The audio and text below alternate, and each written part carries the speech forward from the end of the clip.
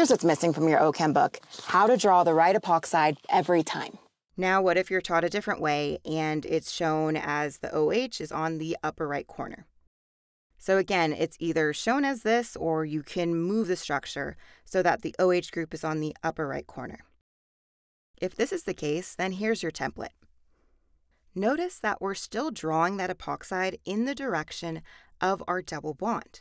So now it's going this way because that double bond is vertical. But this time, whatever is shown in front is shown as just a single bond because that's within your line of sight. But if I had again that this was a plus DET, then this portion of our epoxide would be wedged. So plus meaning wedged for our oxygen for that epoxide. Then that OH group is now going to be dashed, but our alkyl group or hydrogen is not going to be wedged or dashed. Instead, it's just going to be that solid line because it is within our line of sight. Same concept with this next portion. This time it's a minus DET. So I know I'm still going to have this orientation of that epoxide facing this way.